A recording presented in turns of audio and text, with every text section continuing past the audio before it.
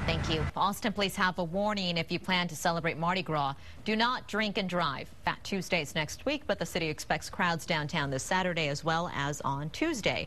APD will also implement its no refusal policy for people accused of DWI. They will be forced to give a blood sample if they refuse a breathalyzer. We want to encourage as many folks to come down and enjoy themselves, uh, enjoy the Mardi Gras festivities, but please do so in a safe and responsible manner, especially when it comes to uh, finding a way home. Close several streets this Saturday and next Tuesday for expected Mardi Gras, Mardi Gras crowd.